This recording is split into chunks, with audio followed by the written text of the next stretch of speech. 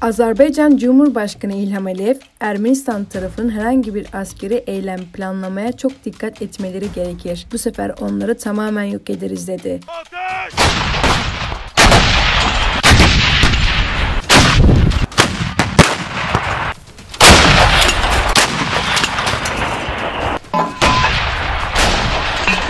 Öte yandan Ermenistan güçlerinin Dağlık Karabağ'da ateşkesi ihlal ettiği belirtildi.